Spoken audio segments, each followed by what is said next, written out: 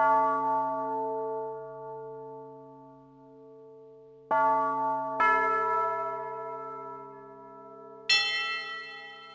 Цена революции с Михаилом Соколовым. В эфире «Эхо Москвы», программа «Цена революции». Сегодня в нашей студии гости из Санкт-Петербурга, доктор исторических наук, главный научный сотрудник Государственного Эрмитажа Юлия Кантер. И наша тема «Зимний в октябре». Ну, «Зимний дворец» в октябре 1917 года. Но я, конечно, не могу не начать с какой-нибудь древности все-таки. Юлия, добрый вечер, во-первых. Добрый вечер. Да, во-вторых, давайте мы напомним, когда Зимний дворец стал резиденцией российских императоров, чтобы люди знали. Ну, Зимний дворец стал резиденцией российских императоров ровно с того момента, когда он был э, построен. А их же несколько было. Да, э, на самом деле несколько зимних дворцов, как минимум, пять. И, собственно, при реставрации Эрмитажного театра, который закончился, кстати, э, ровно 25 лет назад, был обнаружен Зимний дворец Петра I, соответственно, тоже э, императорская резиденция. Ну, а впоследствии э, при, при Елизавете Елизавете Петровне и дальше, дальше, дальше зимние дворцы. И, собственно, тот зимний дворец, который дошел до нас уже и после пожара 1837 года, когда он был в известной степени, в значительной степени э, достроен и перестроен, это до до 18 года этот, этот дворец и Зимний дворец, который мы сейчас видим, который стал с 17 же года Эрмитажем. А Зимний дворец э, явля... был резиденцией э, российской власти, императорской власти. А как же до перерыв? Лета, до лета 1917 года, когда туда въехала, именно летом, в июле 1917 года, туда въехало Временное правительство. Но при Павле был перерыв, да? При Павле был перерыв, небольшой. Недолгий, да. да. Ну, Павел Зря был недолго. уехал. Да, да. Да, ну, кстати говоря, давайте еще о последнем императоре, о Николае II. Похоже, что последний император не любил Зимний дворец. Почему? Нет, я бы так не сказала, что он его не любил. Во всяком случае, ну, таких вот точных свидетельств, вот в отличие от Павла I, да, uh-huh. что хорошо известно, но в отличие от э, Павла I, Николай II такой явной нелюбви к дворцу Зимнему не испытывал. Если вы имеете в виду переезд э, вот, царской вот, семьи в, собственно, задолго, так сказать, до трагических революционных событий 17 года из Зимнего дворца в Царское село, то это совсем другая история, действительно. Э, императорская чита, императорская семья удалилась, так сказать, из столицы и проводила свое время за ее пределами, ну, в своей резиденции. Но это не значит, что не любили. Просто, так сказать, уединились, я бы сказала. Но были еще одни обстоятельства, о которых нельзя не забыть, коль уж мы все-таки говорим про события 17 года. Ведь в советское время практически под запретом буквально была информация о том, а что же было в Зимнем дворце именно с тех пор, как император переехал в Царское село. А, кстати, последний бал был в 903 году, да? Там какой-то костюмированный, знаменитый, в костюмах эпохи царя Михайловича, ну, это как раз, Алексея Михайловича, да? Как раз был бал, посвященный дому Романовых, естественно. А потом они уехали. Нет, Получилось а не совсем так. они уехали, нет. Почему же? Еще был в 913 году, угу. естественно, ну, бал, посвященный... Знал, да. да, и мы в прошлом году в Эрмитаже делали реконструкцию бала, который был посвящен как раз 300-летию дома Романовых. Последний императорский бал, вот как раз 13-й год, да? И опять костюмированный, и, да? и, и костюмированный в том числе, и был и концерт, и был прием, причем чествования дома Романовых продолжались не один день, и в дворянском собрании, теперь это филармония петербургская, ну и, собственно, в Зимнем дворце. Это совершенно отдельная история. К счастью, все документы о том, как это происходило, сохранились. И, и какая обстановка в 13 году, между прочим, была в столице.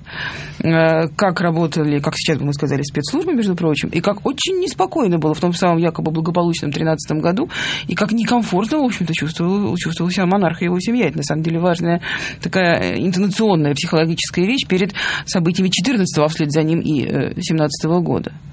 Но, значит, постоянная резиденция все-таки был Александровский дворец в Царском селе. Да. Так что и демонстранты в 905 году зря шли к Зимнему дворцу, желая увидеть императора. Нет, это все-таки символ, понимаете? Uh-huh. Все-таки при всем при том это символ.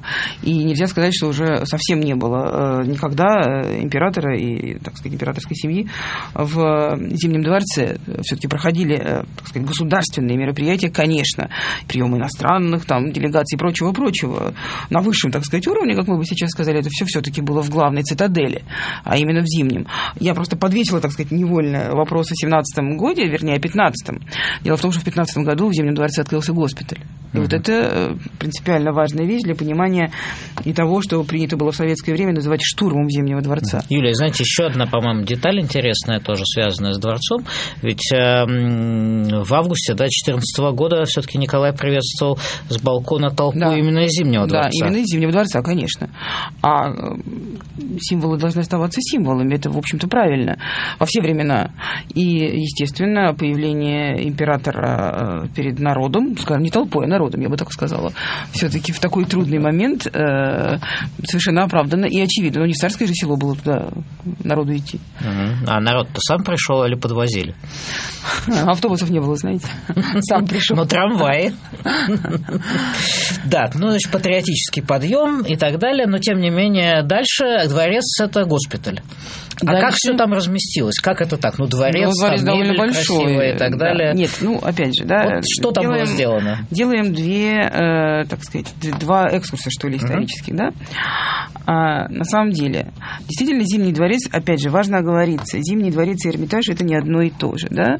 А, Зимний дворец вошел в состав Эрмитажа аккурат 30 а, ноября 1917 года э, уже большевистским указом, объявлявшим, за подписью Луначарского, объявлявшим а, Зимний дворец наряду с Эрмитажем государственным. Вот, собственно, и все. До того момента это резиденция, с одной стороны, с другой стороны, между прочим, это э, место дислокации, скажем так, временного правительства, где оно и было арестовано в ту драматическую ночь, и, собственно, огромный, действительно огромный солдатский госпиталь с палатами-залами э, на 200 200 с лишним человек.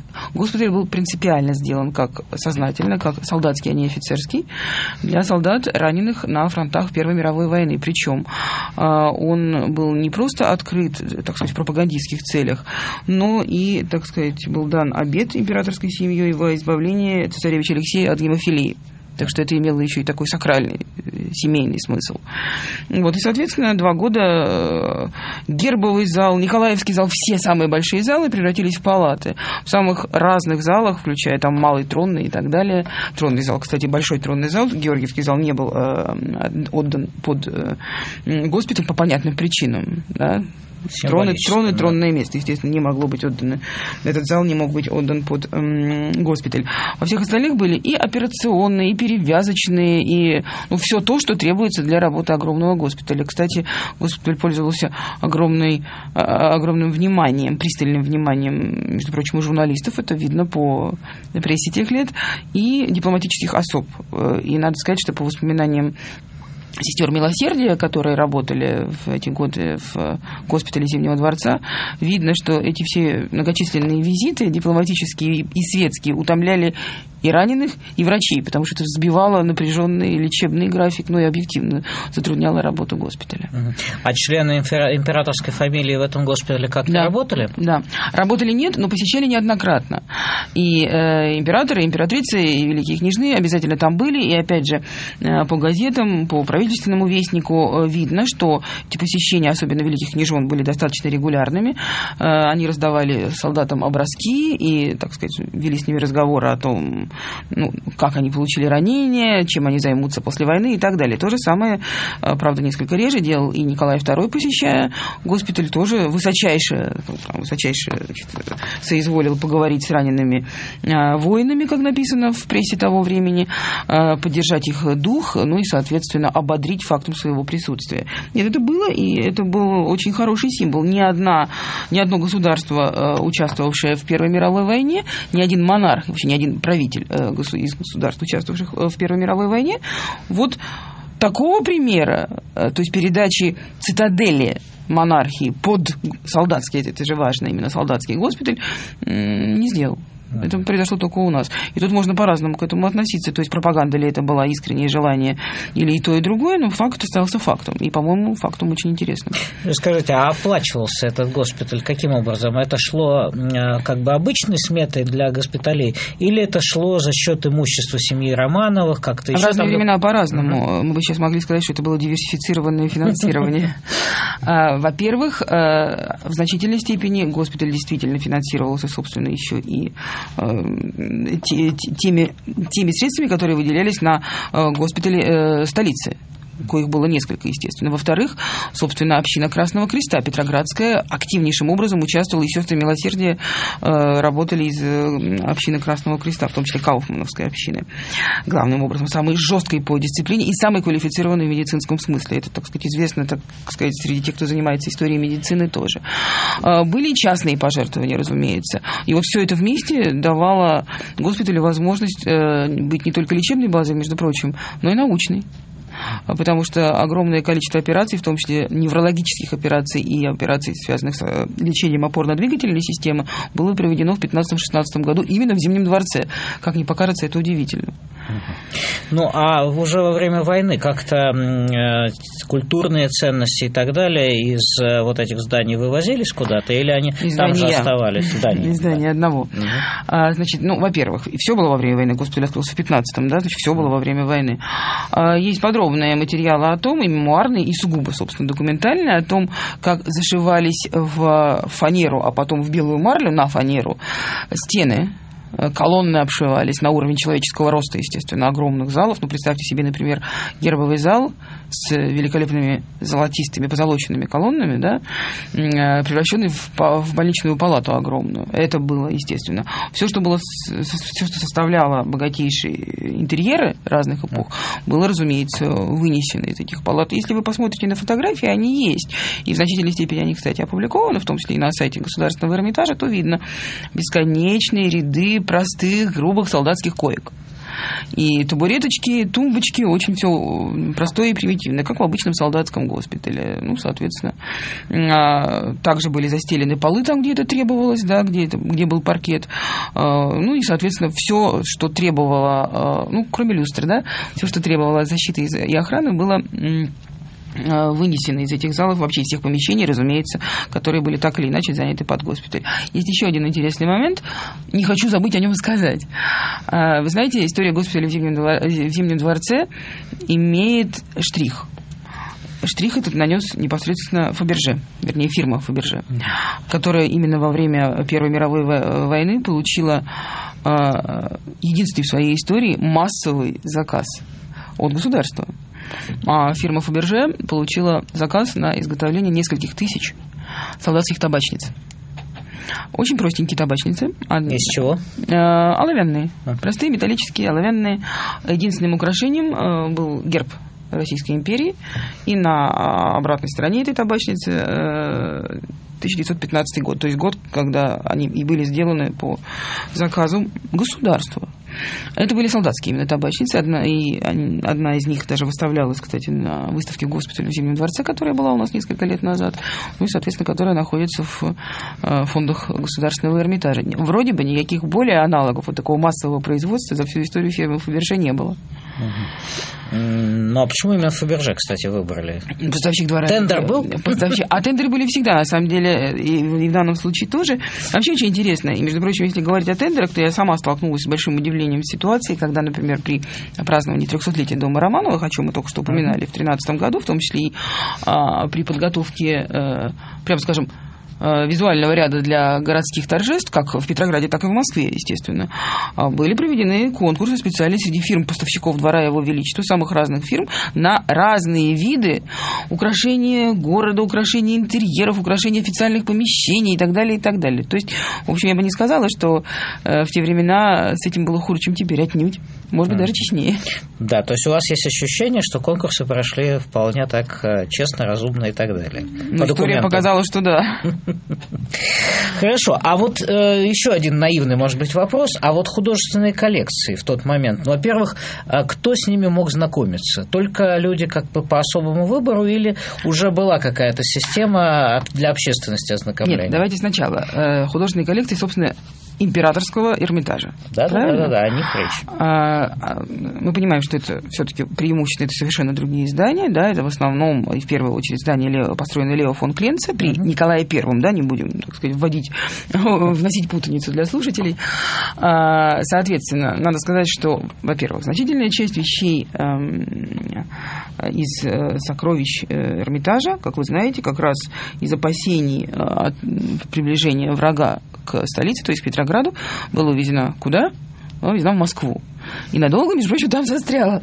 И с большими трудностями, между прочим, уже после того, как большевики, э, кстати, пришли к власти, э, вещи, и даже я бы сказала, не все вещи, но это известно, да, э, вернулись обратно в Эрмитаж. А в Кремле они их держали или где-то в других местах, известно? В, основ, в основном в Кремле, но и не, и не только там. То есть это как раз тоже в, в течение времени все uh-huh. это значит, мало, мало, меняется. В основном в Кремле.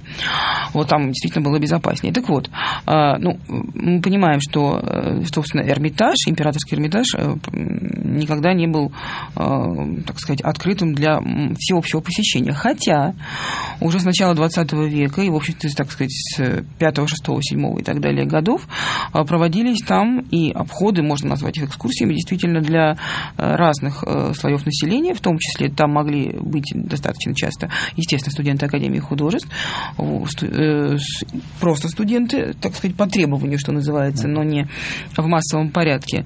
Вот, ну и, соответственно, вот в предвоенные годы, то есть перед, перед началом Первой мировой войны, музей, скажем так, становится более посещаемым. Надо сказать, что э, любопытно, это видно по книгам и путеводителям э, вот этих, этих лет, начала 20 века, и по газетам, в том числе по большевистским, между прочим, газетам. Агитацию и пропаганду, связанную с доступностью искусства, кстати, абсолютно корректную, проводили именно, э, проводила именно РСДРП, и РСДРП-Б, да, то uh-huh. есть э, социал-демократы, впоследствии, больш... впоследствии расколовшиеся на большевиков и меньшевиков. Вот они как раз пропагандировали, и, собственно, э, первое, что сделали большевики, опять же, чуть забегая вперед, придя к власти и объявив Зимний дворец и Эрмитаж государственными, стали водить экскурсии, организовывать кружки для самых разных слоев населения. Что-то им удалось.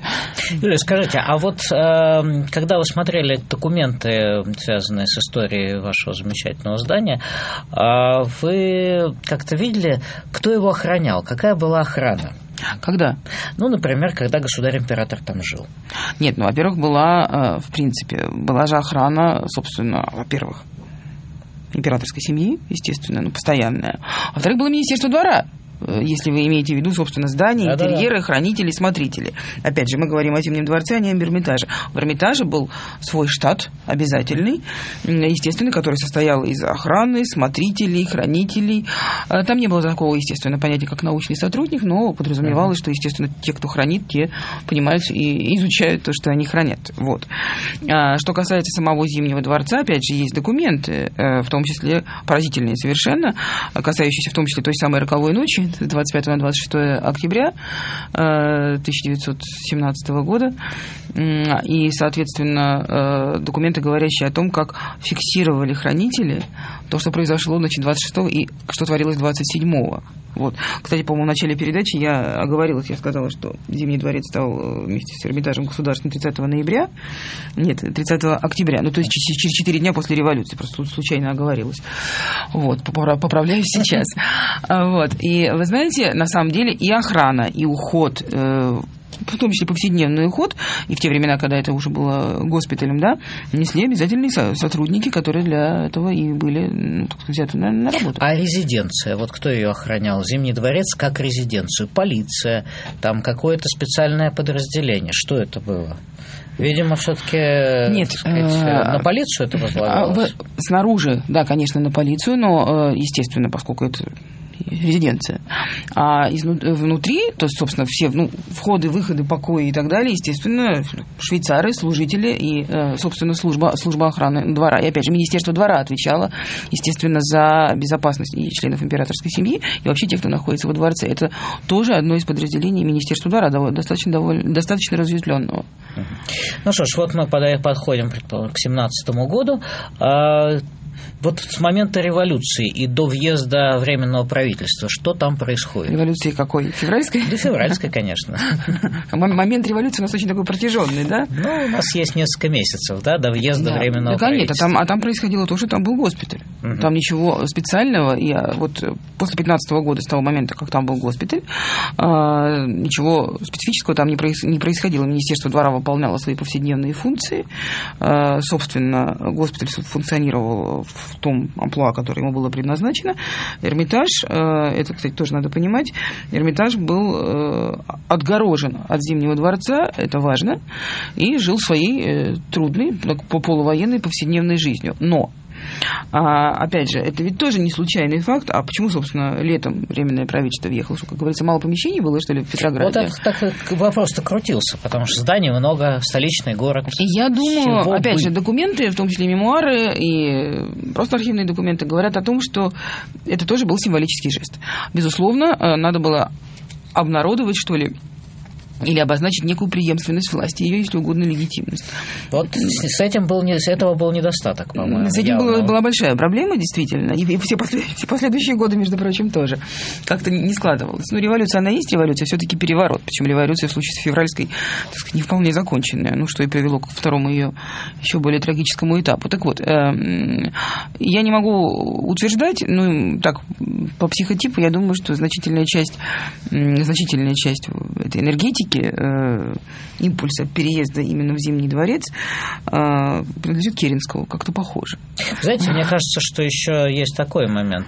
А, вот ведь не было специального здания в Российской империи для заседаний Совета Министров. Он же появился только в 20 веке. Конечно. И они где-то собирались в разных местах, собственно. Ну, хорошо, но тем не менее были разные э, места, неважно, неважно, это, это Петроградская дума или это, это Таврический дворец, или, ну, тем не менее, были места, да, которые были свидетелями эти места и участниками самых разных событий как раз э, ну, начала 20 века и, собственно, революционных, предреволюционных, ну и последовавших событий. Тем не менее, не случайно был выбран Зимний дворец, что, кстати, сразу э, породило множество слухов и мифов. Да? Вот-вот-вот. А то якобы они там постоянно жили. На кровати да. Александра Федоровны. Вот-вот-вот. На самом деле... А как оно было на самом деле?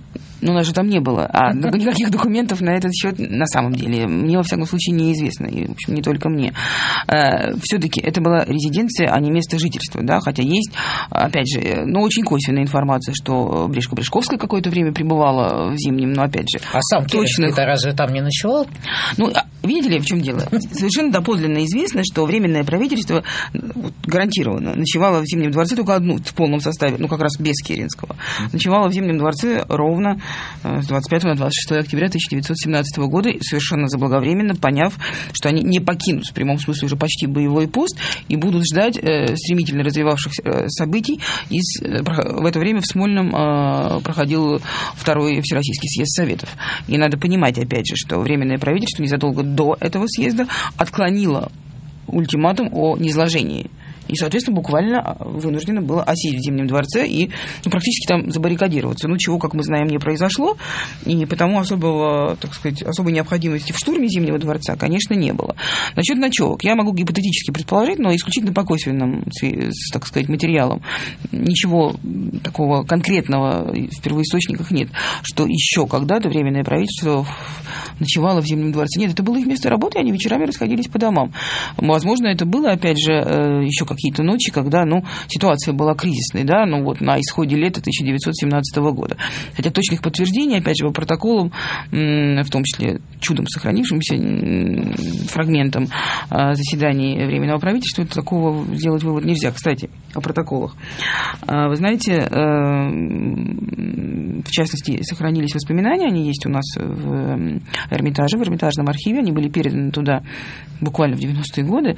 Воспоминания Александра Александра Зиновьева, не путать с Григорием Зиновьевым, а Александра Зиновьева, э, начальника э, Красного Креста Петроградского, который жил на э, Литейном проспекте, ну, в Литейной части Петрограда, естественно, будучи руководителем Красного Креста, 26 утром пришел в Зимний был впущен на удивление, хотя его охраняли уже, так сказать, пролетарии Красная гвардия, но его пропустили по пропуску именно Красного Креста.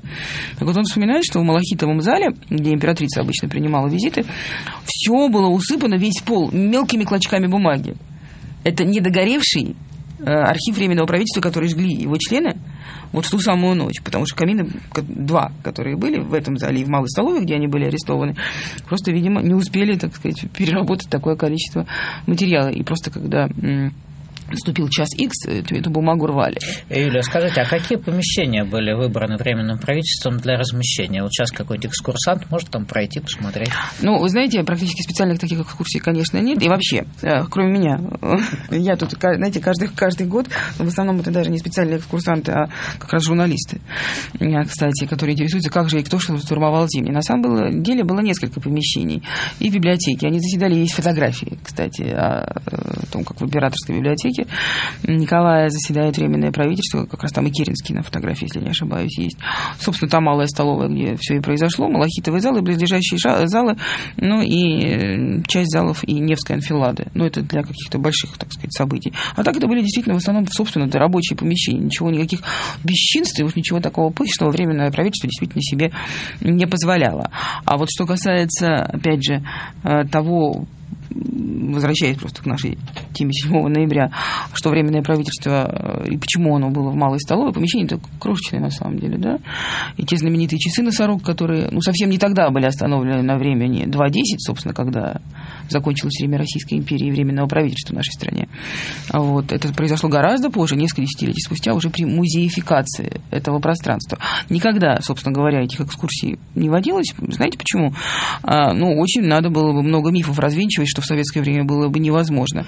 Все же привыкли, э, это видно даже по людям, в общем-то, искушенным, что фильм Сергея Эйзенштейна 27 года про штурм Зимнего дворца, ну, октябрь, воспринимается как подлинный исторический документальный фильм а он абсолютно художественный во всех смыслах этого слова.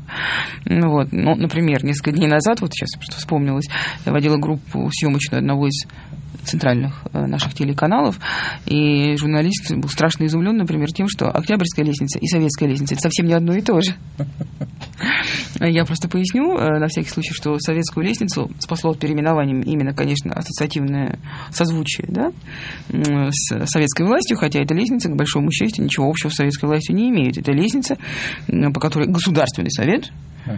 Шел, ходил э, к императору, собственно, вот, и, так сказать, зал совета, который сейчас есть в Эрмитаже, собственно, вот для этого и был предназначен. Октябрьская лестница, опять же, это такой миф, она получила свое название гораздо позже, чем стала героиней э, октябрьских событий э, 17 года. Это лестница в частные покои э, Ее Величества, это если стоять лицом к Зимнему дворцу на Дворцовой площади, это крайний левый вход. Маленький, не очень, так сказать, заметный, но симметричный ему, с другой, с правой стороны Зимнего дворца, комендантский. Вот просто эта дверь оказалась с Дворцовой площади единственной не запертой. Вот по нему Антонов Овсинко с командой и вошел. Да, ну давайте немножечко тогда начнем а, про мифы все-таки. Вот, э, Мы только о них эти, говорим. Да, вот эти события, это октябрьские, как все развивается? Кто а, пытается защитить а, Зимний дворец, какими силами, собственно, где эти герои, да? Или антигерои. Кому как. Кому как, да. Ну, скажем так, где герои событий. Вы знаете, на этот счет тоже э, есть, я бы сказала, самые противоречивые источники. С одной стороны, доподлинно известно, что, конечно, там были юнкера. И есть несколько фотографий, которым можно доверять, потому что подлинные фотографии такого пересменка юнкерского, которая э, юнкера находится и в пикетном зале, и перед Малахитовым залом как раз, и в Александровском зале. Это юнкера, э, которые еще оставались в Зимнем дворце. Кстати, есть также свидетельство, что у большевиков э, были основания подозревать, что сестры милосердия и врачи госпиталя в Зимнем дворце помогали юнкерам спрятаться и избежать арестов. Это действительно так. Как только началась стрельба, только не из «Авроры», конечно, а из пушек Петропавловской крепости. Это, кстати, еще один миф насчет «Авроры». А, ну, все уже теперь знают, что был только один выстрел и холостой. Вот, тем не менее, когда началась стрельба, юнкера побежали искать спасение действительно в госпитале и просить медсестер э, их спасти. Да, так вот, э, сколько же их было все-таки? А, кто это знает? Э, точных подсчетов на вот сколько их было, роты, несколько рот, неизвестно. И потом, в течение этих суток, о которых идет речь, э, состав многократно менялся, и количество многократно менялось. Кстати, э, если еще успеваем до перерыва сказать, нельзя не забыть и о женском батальоне, который топтался в течение нескольких суток, между прочим, под Зимним дворцом. Опять же, есть и воспоминания, в том числе продавцов магазинов и всяких лавочек парфюмерных вокруг Зимнего, около Зимнего, вернее, расположенных на улицах прилегающих к Дворцовой набережной и Невскому проспекту, что очень многие, э, так сказать, участницы этого женского батальона, солдатки, как, как их назвать, да, а, прибегали, во всяком случае, ну, руки помыть, что такое купить себе, потому что они и расквартированы не были, и, и, не были отпущены. И поэтому вот буквально несколько суток, это стояние женского батальона и последняя защита Зимнего дворца, в том числе и с юнкерами и женским батальоном. Да, в общем, символично. Женщины защищают вот эту э, все-таки относительно легитимную и, и, и, мальчики, и мальчики-юнкера. Да. Юлия Кантер э, в эфире «Эхо Москвы», и мы продолжим после короткого объявления. Цена революции.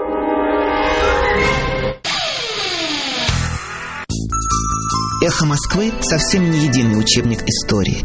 В программе «Не так» пытаемся понять, что мы еще не поняли в прошлом. В передаче «Все так» знакомимся с великими и ужасными персонажами разных эпох. Мы пробуем узнать, какова цена победы и цена революции. Мы слушаем голос истории в программе «Вот так». И каждый месяц листаем все 96 страниц журнала «Дилетант». «Эхо истории» на «Эхе Москвы».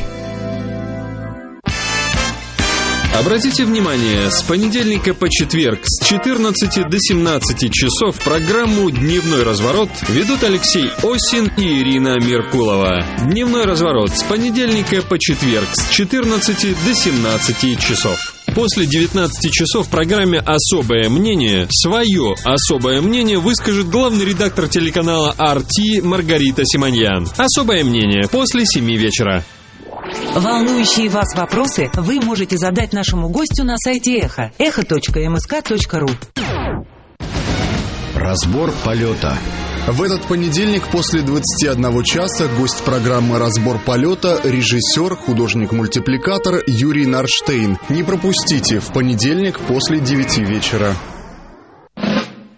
Вам, листающим за постом пост, лайкающим котиков всяких, лучше держите новостей ВОЗ в ленте своей ВКонтакте. Блоги читайте актуальные вы, сидя в смартфоне вашем. Подпишитесь на паблик «Эхо Москвы» с галкой «Сообщество наше». День в день. Час в час. Минута в минуту. Эхо Москвы.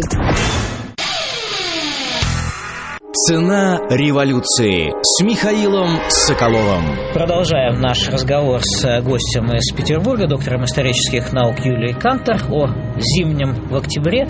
Юля, скажите, а вот еще там был такой сюжет, по-моему, были э, представители казачества, да? Они там что-то постояли, постояли, постояли и ушли, да? Ну, Бросили ну, временное правительство. Опять же, вот кто бросил, а кто не бросил. Э, они действительно постояли, команд никаких не было. Вот, да? Казаки стояли. Керенский, э, ну, он утром 25 октября покинул, э, собственно, Зимний дворец. Но не в женском платье, как любили рассказывать. Вот, опять же, как и в чем. Он покинул в открытом автомобиле, э, причем в шляпе-котелке. Все это было известно, зафиксировано и даже, в общем, зафотографировано. То есть он не прятался? Он, он отнюдь не прятался. Я бы сказала, он уехал демонстративно. Хотя в связи с этим возникает вопрос, а зачем председателю Временного правительства, давайте так, всерьез, да, ехать, он ехал в Гатчину, ну, как известно, поднимать верные временному правительству войска, как раз вот мы только что говорили, упоминали о казаках в женском батальоне и юнкерах, но понятно, что в случае штурма и вообще в случае эскалации конфликта, как бы мы сейчас сказали, этими крохами, конечно, не обойтись.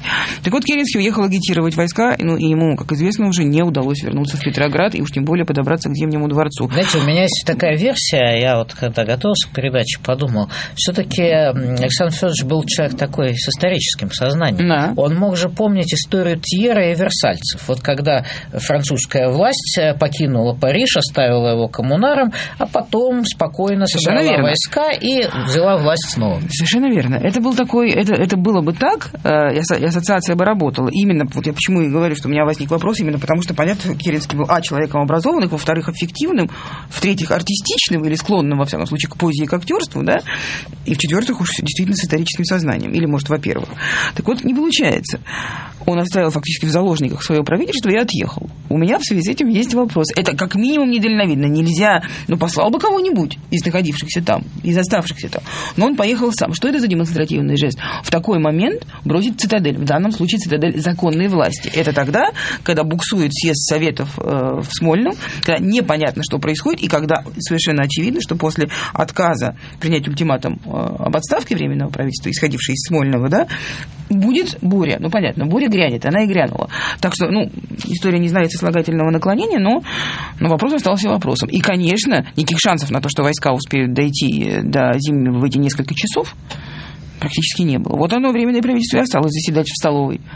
Но, знаете, я бы еще заглянул в ныне тоже принадлежащий вашему музею генеральный штаб. А что там происходило? Никто вот не знает. Там же сидели какие-то офицеры, там была связь. Почему они этим не воспользовались? Ну, естественно, это был Петроградский округ. Да, да, да. Не- К большому, действительно, удивлению и недоумению, это тоже в том числе и историков, занимавшихся э, армией, да, вот э, ситуацией в армии.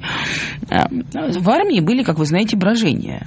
Более того, вы прекрасно знаете, что э, и Петроградский гарнизон, мягко говоря, не как-то не был готов абсолютно лояльно поддержать временное правительство. Это, это, это кстати, то, из-за чего Керенский общем, мотивировал, что он поедет туда в Гатчину, а некого было поднимать. И какая реакция была бы в лучшем случае нейтральная на той же Дворцовой площади из э, генерального штаба. Армия воевала с внешним врагом, да, понятно. Офицерство было расколото, и мы это прекрасно знаем по тем событиям, которые не замедлили случиться во время гражданской войны уже после революции, какое количество царских офицеров отнюдь не пошло к белым, а очень даже присягнуло красным. Между прочим, во главе с генералами штаба, и в том числе генералом Бонч-Бруевичем. Так что... Ну, если того- заложников семью брать, правда, можете присягнуть. Не-не-не, давайте не будем. Вот тут, извините, я, я тоже, как и вы, Миша, не люблю большевиков, но давайте не будем передергивать. Все-таки заложничество и децимации возникли гораздо позже, чем тогда, э, когда в 1917 году большое количество царских офицеров э, стало делать, пошло в так называемую завесу, если вы помните. Да? Сначала бороться с внешним С немцами, врагом. с немцами С бороться, немцами, с немцами. И еще, более того, мы с вами прекрасно знаем по документам, что и поручики, и э, полковники, и капитаны, и штабс-капитаны именно царской армии, после того, что с ней случилось перед Первой мировой и во время этой войны, будучи полностью разочарованными и в императоре, и в позиции, между прочим, в позиции и самого э, Керенского и Временного правительства в целом, и в отношении к войне, и в отношении к армии, готовы были идти, как говорится, хоть к черту. Посмотрите мемуары, и даже к черту они и пошли, то есть к большевикам. Ну да, ну кандидаты в Бонапарты, в общем, во всякой революции имеются, так что это неудивительно, конечно. Ну, как говорил один герой, самозванец на трон, я понимаю, но самозванец на плаху. И, увы, значительное количество, если не сказать больше, царских офицеров уже начиная с 20-х годов были репрессированы той самой властью, которую они сами же и поддержали. Скажите, вот все-таки об осаде Зимнего дворца. Как опять же это выглядело? Я понимаю, у нас тут карты нет, мы, так сказать, только руками можем разводить, но тем не менее. Вот площадь, э, вот Нева, вот где эти атакующие там какие-то, которые Хороший потом в вопрос. кино, в которых в кино Да. показывали? Где вот эта вот там людская лава, которая через арку главного штаба по Дворцовой течет, когда люди штурмуют э, якобы закрытые и якобы штурмуют э, эти наши красивейшие ворота с орлами э, в главный в большой двор Зимнего дворца, не было никакой лавы. Люди были. На самом деле, картинка рисуется тоже очень кин- кинематографическая, но совершенно документальная, ее можно реконструировать. И, кстати, вообще событиями в Зимнем и в Смольном одним из первых еще историков в советское время очень часто занимался Виталий Иванович Старцев, кстати. Первый, кто практически поминутно разложил картинку и съезда Советов в Смольном, ну и, соответственно, довольно четко указал, что происходило в Зимнем. Потом было много исследований на эту тему, когда это уже стало возможным. Так вот, старательно охранялись входы в Зимний дворец со стороны Дворцовой площади. Ну, Эрмитаж был закрыт полностью. Все, в дни кризиса он был просто полностью закрыт. А, вход, э, так называемый Иорданский, со стороны э, Дворцовой набережной. Э, я объясню, почему он так называется. Иорданский ход Иорданская лестница – это главная лестница Зимнего дворца, самая красивая, так называемый открыточный вид Зимнего. Это лестница, по которой члены императорской семьи во время крещ- крещения спускались в Иордань, то есть в прорубь на Неве. Так вот, эти входы охранялись, но опять же, то там менялись вахты, то двери закрывались изнутри. Опять же, надо понимать, что Иорданский вход и э, два входа со стороны Дворцовой площади э, были, э, так сказать, закреплены за госпиталем. И это не давало возможности их перекрыть вообще, если речь идет о зимнем. При этом а, действительно, ну, назовем это осадой, да, но кто стрелял? И, кстати, это очень важный вопрос. Ну, стрельба-то была, и, несколько, и погибшие были, и тяжело раненые были. Стреляли пушки с э, Петропавловской крепости. С крейсера «Аврора» тут э, ни при чем. Крейсер «Аврора», кстати, распространил буквально 27 октября, то есть через сутки после того, что случилось, а, разъяренное, я бы сказала, обиженное письмо, подписанное, значит, командой, о том, что не, не надо верить, э, так сказать, досужей прессе, и что э, Аврора не обстреливала цитадель, и что Аврора действительно дала предупредительный выстрел, холостой, из орудия номер один, это правда, чтобы подготовить суда к бдительности. Там это письмо, кстати, уже достаточно давно опубликовано. Аврора причем? Аврора дала выстрел, и выстрел холостой. Другой вопрос, что через некоторое время действительно полили пушки по Зимнему дворцу с Петропавловской крепости, это как раз понятно, да, расстояние крошечное, и огромное количество осколков шрапнели э, попало в анфилады, так называемые, в залы Невской анфилады, так называемые, а залы Невской анфилады, как мы с вами сегодня уже говорили, э, были отданы госпиталю. И вот как раз, опять же, никогда в жизни большевики не могли это признать, потому что весь миф о большевистском благородстве и гуманизме рушится от одного факта, что большевики стреляли по лежачим. Ну, то есть они обстреляли госпиталь. Они просто обстреляли госпиталь, прекрасно зная, что там находится именно госпиталь. Они также знали, что там находится и временное правительство. Но когда большевики заботились о людях, да, им нужно было напугать. Это была очевидная психическая атака. И, кстати, э, вы в проброс сказали о том, что, да, был миф о том, что Керенский якобы бежал в э, платье женском. Причем, если мы вспомним знаменитую картину «Бегство Керенского из Гатчины», да, то он как раз бежит э, в платье сестры Милосердия. Правда? Ну, из Гатчины понятно, почему, потому что он поехал действительно туда, а в платье сестры милосердия тоже понятно. Он из Зимнего якобы в большевистской мифологии бежал, переодевшись сестрой милосердия. Опять же, у этого мифа, э, как у любого мифа, есть э, некоторая доля правды. Дело вот в чем. Дело в том, что когда несколько группок штурмующих, именно группок, а не больших групп, э, извините за грубое слово, шныряли по Зимнему дворцу в поисках временного правительства, потому что ни планов дворца, ни уж тем более место расположения, так сказать, штаб-квартиры э, временного правительства, ни у кого из э, проникших в Зимний дворец не было. Первое, на что они натыкались, это, естественно, огромные госпитальные палаты. И э, предполагая, что временное правительство может прятаться именно там, большевики, ну и большевистские, так сказать, большевистски настроенные массы, которых было там очень немного, срывали бинты с раненых, особенно с челюстью лицевыми ранениями. Предполагаю, что это таким образом замотанные замотанные, замаскировавшиеся министры Временного правительства.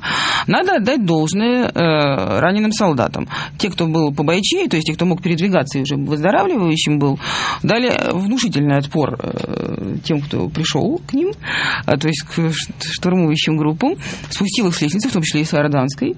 Э, и действительно известны и по, по мемуарным источникам, и по, по фиксациям известны случаи, когда в качестве орудий, орудий обороны от штурмующих раненые избирали не только там табуретки и костыли, но и сосуды для справления естественных нужд. Uh-huh. Так что первые группы штурмующих, в общем, получили вполне по заслугам. Но в госпитале царила страшная паника. По воспоминаниям сестер милосердия, которые хранятся у нас а, в Эрмитажном архиве, а, можно реконструировать эту картину.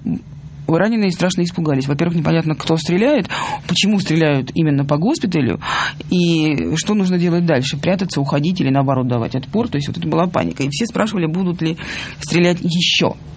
В это время Отряд Антонова Овсеенко, пока не получает никаких четких указаний вообще, что делать, идет по Зимнему дворцу, блуждает по тем, полутемным залам. Они вот по этой боковой лестнице, да, Вот по той самой боковой лестнице, которая лестница Ее Величества. Угу, Небольшая охраны, лестница. Да? Она оказалась, во всяком случае, неизвестно, чтобы там была охрана, и даже неизвестно, что при входе кто-то их останавливал. И вот они пошли, шли по помещениям, которые были личными, не парадными покоями. Видимо, поэтому там никого, собственно, и не было. И пока они э, шли, а, пытаясь найти в полутемных залах кого-то, они не дошли еще и до госпиталя тоже, это гораздо более большом расстоянии от этого входа. Вдруг, войдя в, темную, в темный малахитовый зал, они услышали голоса.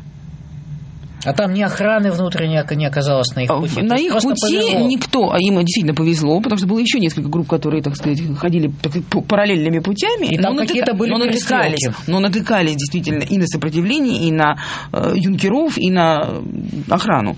Но Антону Овсенко повезло, и вот они, так сказать, замерли, его группа зам, замерла в Малахитовой столовой, как раз потопталась по бумажкам и распахнула двери.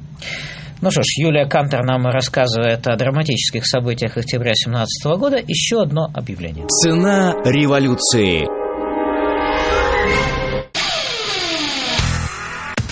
Удобный, легкий, стильный, долгожданный. Мобильный сайт «Эхо Москвы». Запоминайте адрес m.echo.msk.ru На любом мобильном устройстве, везде, где есть интернет, «Эхо Москвы» всегда с вами, а вы всегда с нами. m.echo.msk.ru Заходите и оставайтесь. «Эхо Москвы» читает газеты вслух. Краткие обзоры печати каждое буднее утро в информационном канале, а потом с чувством, с толком, с расстановкой в утреннем развороте.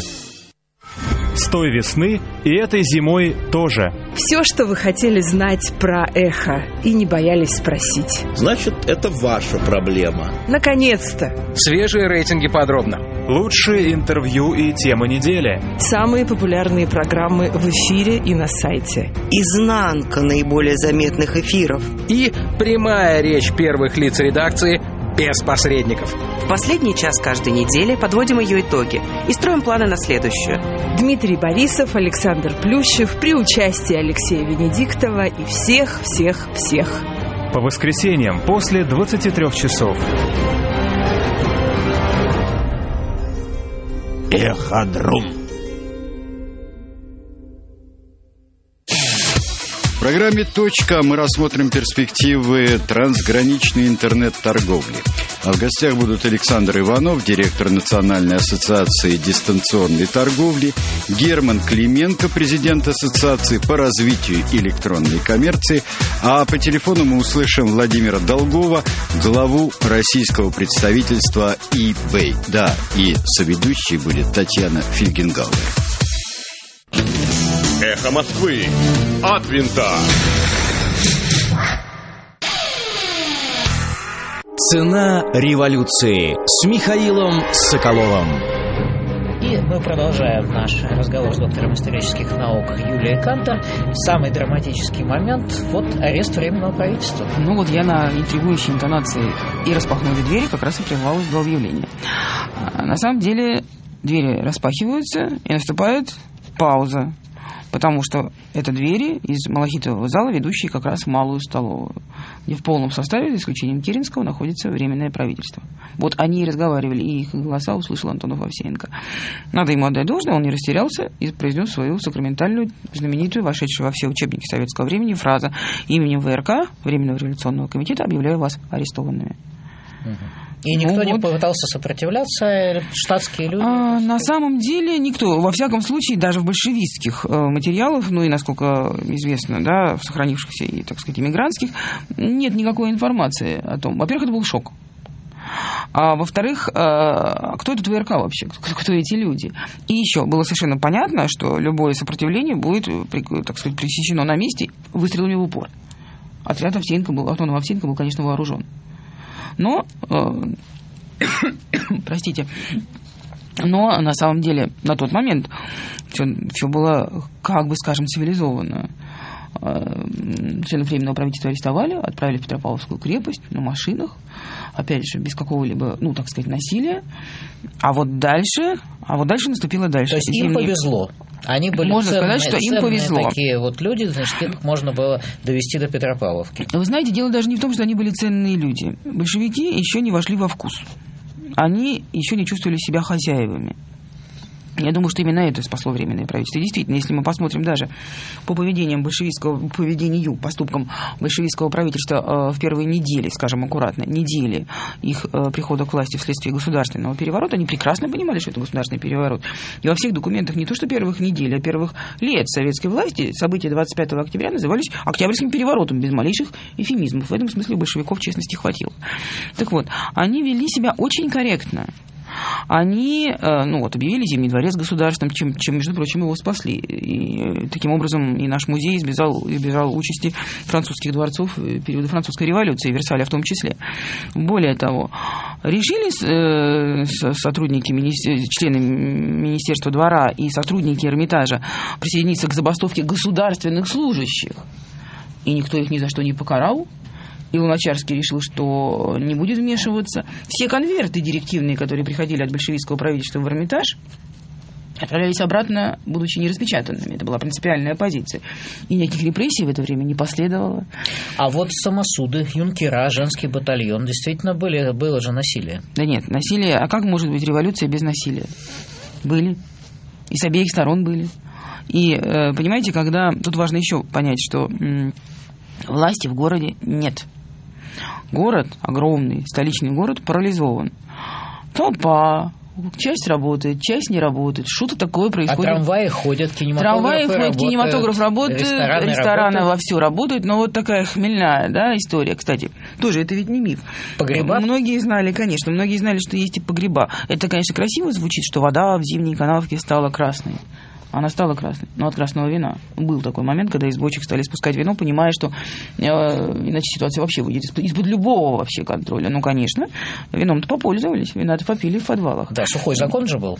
Да, ну а тут как раз, ну что, бери, пока дают, лей, пока льется.